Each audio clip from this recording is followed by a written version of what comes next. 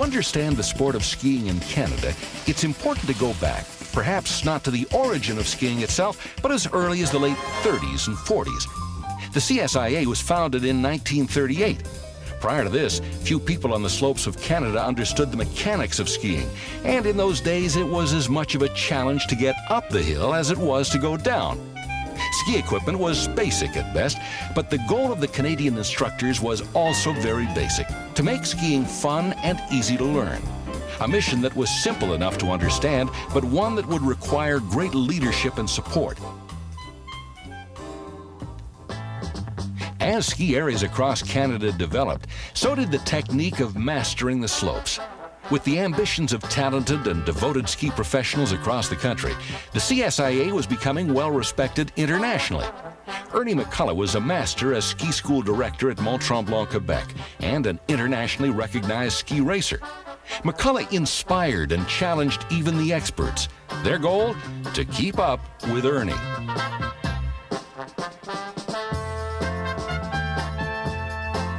It was during this era that the stereotype ski instructor made his debut.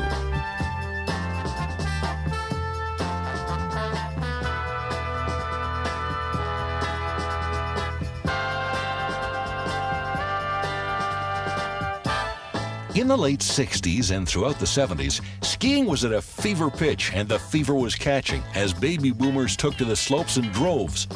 Canada's CSIA demonstration team represented the ultimate in ski technique.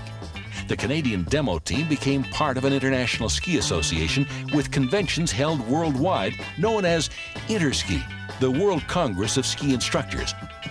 It was in 1960 that training for Interski was taking place at Sunshine Village in the Banff ski region. Interski that year was scheduled for Aspen. Czechoslovakia hosted Interski in 1975. Perhaps primitive by today's standards, the Canadian ski instructors team was the first to introduce showmanship. This was skiing on a grand scale and changed the look of interski presentations for years to come. Through these years, the CSIA Interski team and Level 4 examiners have spent much time on research and refinement of technique. Developments in equipment and ski racing influenced the skiing world. These standards were reflected on recreational skiers.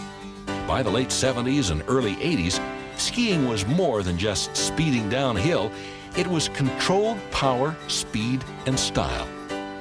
By 1982, the CSIA's commitment to dynamic skiing and teaching methods was the basis for preparation for the demo team that participated in Interski 83, held in Sesto, Italy.